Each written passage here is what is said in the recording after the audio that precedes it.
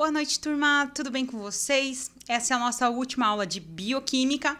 Então, eu quero trazer com vocês ali um resumo de to todos os conteúdos que nós tivemos nesse semestre, tá? Para a gente ter ali, então, já que a gente terminou todo o nosso conteúdo, para que a gente né, dar aquela relembrada, aquela né, memorizada de novo nos assuntos que a gente teve nesse até desde o início do ano, ok? Então vamos lá, vamos relembrar. Nós tivemos é, como conteúdo esse semestre. A gente viu lá os carboidratos, os lipídios, os açúcares, as vitaminas, a bioquímica do líquor, a enzimologia clínica e a bioquímica da urina. A gente estava vendo agora por último. Então, vamos lembrar lá. Quem é dos carboidratos? A gente descobriu muita coisa sobre os carboidratos, que eles são uma das grandes fontes de energia para o nosso corpo. Então, é como se fosse ali a nossa gasolina, né? Que a gente coloca ali no carro para estar tá andando. Os carboidratos são ali essa fonte de energia para que a nossa máquina, tá? Do nosso corpo, a gente possa então fazer todas as atividades. Por mais que a gente ficasse deitado ali na cama, inerte, sem fazer nada, apenas respirando, a gente já vai estar tá gastando calorias, a gente vai, nossas células estão trabalhando, os nossos órgãos estão trabalhando. Então eles precisam de combustível para estar tá se mantendo ativo, certo? Senão essa máquina para de trabalhar. E os carboidratos são essa grande fonte de energia. Por quê? Eles vão ser transformados depois que eles vão ser metabolizados, né? Então a gente vai ingerir esse organismo, vão ser digeridos e vão ser metabolizados, ou seja, nosso organismo vai absorver, tá? Toda essa metabolização desse, desse carboidrato, ele vai ser metabolizado para glicose, ele vai ser transformado em glicose. Tá? Então, tudo isso vai ser absorvido no nosso organismo como glicose, não mais como o carboidrato, certo? A gente vai encontrar o carboidrato lá nas massas, nas massas, tá? Ah, famoso macarrão, né, de domingão ali, as pães, tá? É, amidos, e isso a gente vai encontrar ali, por exemplo, na mandioca, no, na batata inglesa, né? Todas as variedades ali de batata a gente vai encontrar amido, algumas mais, outras menos, mas a gente vai encontrar esse amido. É, no milho, tá? Então, até nas leguminosas, nos vegetais, nos grãos, né? Como, por exemplo, o arroz, a gente vai encontrar esse carboidrato presente. Por quê? O carboidrato é algo ruim, por mais que muitas, muitas pessoas fa falam, ah, não ingiro carboidrato, tá, tá, tá. A gente precisa do carboidrato. Por mais que é, a gente tenha realmente um excesso tá, desse carboidrato na nossa alimentação, é, muitas vezes a gente come mais do que deveria, por isso a gente acaba engordando, né? Por isso que fala, ah, carboidrato engorda. É porque a gente come em excesso, né? O costume aí da gente acabar comendo em excesso esse carboidrato, ele vai ser transformado em glicose, a glicose, né, vai em excesso ali no nosso organismo, vai acabar, né, acumulando ali em forma ali de reserva energética, né, a famosa ali gordura, tá? E consequentemente, né, não, é, não deveria ser o, o que a gente, né, o, o, corriqueiro. O normal seria a gente ali ingerir a quantidade correta, tá, desses carboidratos. O, a, em média, tá, que a gente precisa desses carboidratos ali é, de 140 a 200, tá, gramas de carboidratos diários, para o metabolismo, para o nosso organismo poder trabalhar, né? Esse combustível para o nosso organismo poder trabalhar. Essa mais ou menos tá, a estimativa, alguns falam mais, outros falam menos, mas essa seria mais ou menos a estimativa de carboidrato que a gente precisa diário. Os açúcares, então, como a gente viu ali nos carboidratos, eles também podem, tá? É, estar vindo provenientes desses carboidratos, dessa metabolização do carboidrato no nosso organismo, mas ele também pode estar vindo ali, tá? É, diretamente da fonte, né? É, como por exemplo ali é, o mel, tá? É, alguns açúcares que a gente tem aí comercializado, a gente é retirado, tá? É, de frutas e vegetais. A gente tem, por exemplo, o açúcar refinado aí, né? Açúcar cristal, ele é retirado, e o açúcar mascavo também, ele é retirado da cana-de-açúcar. É, os três tipos de açúcar depende da quantidade química que eles receberam, tá? Então, isso que difere um do outro, o sabor, a, a qualidade, a textura e também a coloração, depende da quantidade química, mas são provenientes principalmente ali da cana-de-açúcar. Nós temos o xilitol, que é retirado da beterraba, acho que também de outros, depende, não sei como é que é que tá? Que eu conheço é da beterraba. Nós temos aí diversos, tá? Vegetais e açúcares que são é, e, e, frutas para nossa sobrevivência, tá? A gente precisa do da glicose no nosso organismo, né? Como eu disse, a gente precisa do carboidrato e mais a gente consequentemente precisa do açúcar, porque o açúcar ele vai ser a principal fonte de energia. O carboidrato é transformado em glicose, tá? Que é o combustível. Então, teoricamente, a glicose, tá? O açúcar, ele é a principal fonte de energia para esse metabolismo tá funcionando. Ele é o responsável, ele vai ser o responsável, tá? Por essa energia. O carboidrato vai ser transformado em glicose e a glicose vai ser transformada em energia. A gente, como já viu, né, pode ser retirado de grãos e massas e pão, que é a glicose, é, que é vindo do carboidrato, e também vindo das frutas, e vegetais também nós vamos encontrar, tá? É essa concentração de glicose, tá? Nas frutas, chamado de frutose, né? A gente já viu. É, um excesso de glicose no nosso organismo, então a pessoa vai ingerindo constantemente uma grande quantidade de glicose, tá? E isso pode estar ocasionando nesse indivíduo é, alguns processos ali diabéticos, então pode ter ali vários tipos de diabetes, tá? É, diabetes 1, diabetes 2, tá? É, também tem uma influência no diabetes mellitus. Diabetes mellitus é um pouco diferente, mas pode ter influência também, tá? Esse excesso de açúcar. É, quando a escassez, então tem pouca glicose, então a pessoa não ingere tá? Quantidade de glicose, ou por algum outro fator metabólico que essa pessoa é, acaba tendo, tá? Essa glicose retirada desse, dessa corrente sanguínea. Então, o que, que acontece? Essa pessoa vai ter casos de hipoglicemia, ou seja, baixa quantidade de glicose. E hiperglicemia, tá? Alto, alta quantidade de glicose e que pode gerar, tá? Futuramente, as diabetes e hipoglicemia, baixa quantidade de açúcar. Então, os lipídios, nós vimos que eles são a reserva energética, tá? São isolantes térmicos e também estão ali ativamente nessa fazendo parte da composição da membrana plasmática. É ele que é o responsável, tá? Por impedir que haja perda hídrica ou que haja perda desse né, citoplasma, dessas substâncias dentro da célula. Então, ele é, também é uma forma de é, proteção dessa membrana plasmática, tá? Dessa célula, de todo o nosso organismo. Da transição seletiva lá das nossas células, justamente, tá? Essa, esse lipídio vai ter uma grande participação nesse processo. Esse lipídio, tá? A gente vai encontrar ali nos nossos exames, conhecido ali como LDL, que vai ser responsável por transportar o colesterol do fígado até as células. E o HDL, ele vai fazer o inverso. Ele vai retirar o excesso de colesterol, tá? Levando de volta para o fígado para ser eliminado pelo corpo. Então, por isso que muitas pessoas conhecem o LDL como o colesterol ruim e o HDL como colesterol bom, tá? Porque ele vai fazer o processo de excretar a, a, os lipídios, as gorduras que estão naquele corpo em excesso.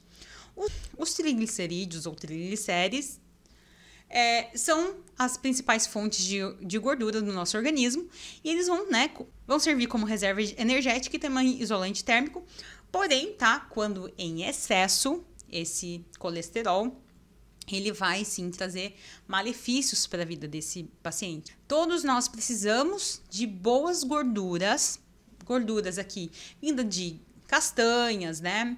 De óleos extraídos aí de é, de óleo de coco, óleo de abacate, né? São óleos essenciais, tá? Ótimos para a saúde, são óleos que não se saturam, a própria fruta do abacate. Então fala, ah, o abacate é muito calórico, mas né, uma barra de chocolate é muito mais calórica, né?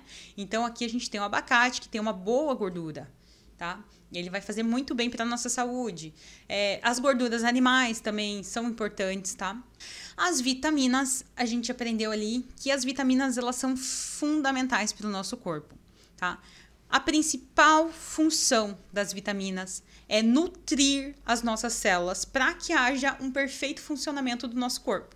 Então, não basta só eu ter um carro lá, né? Como eu falei do exemplo do carro, tá? Puxando lá no, dos carboidratos. Não adianta eu ter um carro e botar gasolina dentro do carro para andar se eu não tô trocando óleo, tá? Então as vitaminas seriam mais ou menos isso. Elas servem para é, tá nutrindo, tá? Esse funcionamento, ter ali tudo funcionando. Então cada, tá? Cada coisa, cada vitamina, ela vai atuar tá? Num local diferente em específico. Por exemplo, a vitamina A é ótima, excelente para os olhos. E a gente viu ali, tem uma listinha ali na nossa pochila, falando para cada coisa qual vitamina é boa para o quê, né? Então, eu trouxe aqui, tá? Alguns casos de quando há é, falta, né? Dessa, dessas vitaminas, por exemplo.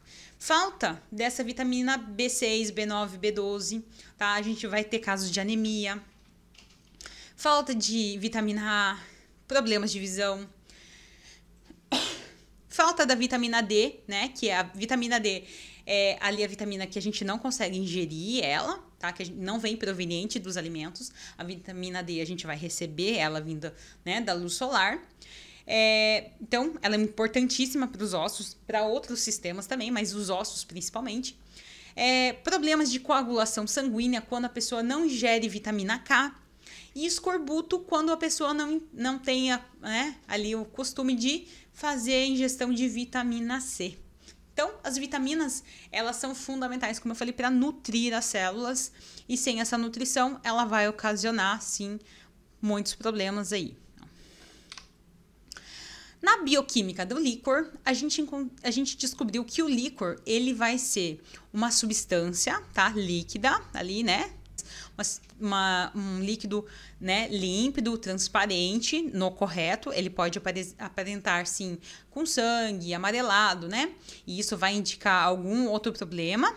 A gente viu isso nas nossas aulas, mas ele fica ali localizado, tá? É, na nossa medula espinhal, também encontrado ali no subaracanoide do nosso cérebro. E ele vai ser caracterizado por ser uma solução salina, pura, de baixo teor de proteínas e células. E ele vai funcionar, tá? Sua principal função é amortecer o córtex cerebral e a medula espinhal, tá? Então, é um amortecedor para o nosso organismo ali, né? Para o córtex cerebral e para a medula espinhal. É, o que a gente aprendeu em laboratório, tá? É que esse exame tá? A gente vai conseguir ver algumas diferenças neles, por isso que é, o médico faz né, a sua coleta para a gente analisar isso em laboratório. A gente vai conseguir determinar tá, a coloração desse, é, desse líquor. Então, se ele tiver com uma coloração amarelada, com sangue, tá? Vai estar tá identificando alguma, né, alguma patologia, o aspecto também, a presença da glicose ou presença de, de proteínas, tá? Isso a gente vai conseguir determinar em laboratório. A gente viu também em enzimologia clínica que as enzimas são moléculas orgânicas que elas vão estar abundantemente no nosso organismo, tá? Então, elas são catalisadoras proteicas e elas vão estar na maioria das reações químicas no nosso organismo. Elas vão estar nos processos metabólicos, nas células e suas reações celulares. Então, elas também têm o poder de conseguir atuar sobre diversos componentes, como a proteína, os carboidratos, ácidos nucleicos, lipídios, e com isso elas vão gerar um produto e esse produto terá uma função tá, no nosso metabolismo. Então, essas enzimas são muito fundamentais no nosso organismo. Quando há queda de temperatura ou uma temperatura muito elevada, essas enzimas podem estar sofrendo a sua morte. Tá? Então, é muito importante né, que haja esse controle de temperatura. A gente né, viu esses detalhezinhos nesse, nesse semestre, mas é só para a gente dar uma relembradinha a importância dessas enzimas. Lá na nossa bioquímica da urina, foi o último assunto que a gente estava falando, né? Agora na, nas nossas aulas, a gente viu que essa esse exame, né, dessa bio, parte da bioquímica da urina, ela é dividida em exame macroscópico, ou também conhecido como exame físico, e o microscópico, que a gente vai analisar ali no nosso microscópio, né, é, na lâmina, tudo certinho. O exame, tá? É, existem mais exames de urina? Sim, existem mais tipos de exame, exame de cultura, tá? É, nesse exame da bioquímica da urina, a gente está vendo só o químico, o exame químico dessa urina. Então, no exame macroscópico, a gente viu ali cor, cheiro e o aspecto, né? Se a coloração tá correta, qual o nível de coloração ali, né? A gente já consegue ver no potinho. Se vem uma urina, por exemplo, vermelha, a gente já vai, né, identificar que aquela é, urina tá com algum problema. Ou se vem um, muito alaranjadinha, muito amarela, ou muito branca, né? A gente já consegue a olho nu visualizar, né? Se, né, tem um cheiro muito fédido, a gente já consegue perceber. E também, né, o aspecto, a gente já olha no potinho ali, se tiver, se tiver turva essa urina, né, tiver opaca, né, uma coloração assim, é, que a gente olhando a olho nu, a gente não consegue ver a luz passar, né, a, a luminosidade tem um, uma interrupção, então a gente já consegue determinar que também pode ter, né, algum problema ali naquela urina, a gente vai analisar isso microscopicamente tá? Para ver o que, que é. Ou também, já ali no exame químico, a gente vai conseguir determinar também essa cor, essa presença de leucócitos, de hemácias, bilirrubina, urobilinogênio, proteína, cetonas, é, glicose, nitrito e a densidade e o pH. Então, esses são os fatores que a gente né, viu lá naquele processinho da tira de reagente, que a gente coloca lá no potinho com a urina, tira o excesso, tudo bonitinho, e ele já vai acusar pra gente ali, né, a coloração, ele vai alterar. E a gente vai fazer a comparação, né, com com o que vem certinho do fabricante. A gente vai fazer essa comparação, qual nível que essa é, urina se encontra, cada fator, tudo certinho, e vai fazer o laudo, né? Do que a gente encontrou ali nesse exame químico. Também ali na parte de sedimentoscopia da urina, a gente viu que a gente consegue encontrar ali cilindros, cristais, muco, flora bacteriana. E a gente também viu a ureia, a creatinina, o ácido úrico, né? A gente também consegue determinar ali a sua presença na urina. É, esses são fatores que a gente consegue determinar o funcionamento desses rins. Então, a presença de algumas substâncias ou a falta dessas substâncias vão indicar ali, então, é, a funcionalidade, como é que está sendo esse, né, é, esse processo escritor ali, o que pode estar tá ocasionando. Então, é muito importante, tá? Esses, esses exames ali é, da urina, ele vai indicar muito sobre a nossa saúde. Então, pessoal, essa foi nossa aula de hoje. Espero que vocês tenham gostado de relembrar aí todos os assuntos que nós tivemos até agora. Se você ficou com alguma dúvida sobre esse conteúdo ou né, os conteúdos que nós tivemos esse semestre, aproveita, nós temos aí o nosso último, última aula desse semestre. Não deixa passar para o outro semestre ficando com dúvida nesse. Pode perguntar, estou aqui para isso, para te ajudar a né, a conhecer esse, esse conteúdo, é, essas matérias. Então não, não tem, não passe de semestre ficando com dúvida nesse, ok? Tô aqui, pode mandar nos comentários ou pode mandar para mim também no, por e-mail, tá bom, pessoal? Então é isso. É, fico com vocês aqui no comentário e boa noite para vocês.